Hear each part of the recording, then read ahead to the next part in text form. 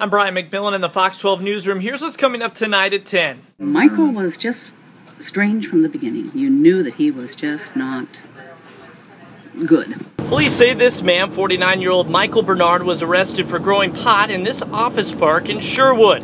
He was also arrested for sexual abuse of a 14 year old girl and selling or giving the pot that he was growing behind these doors to kids.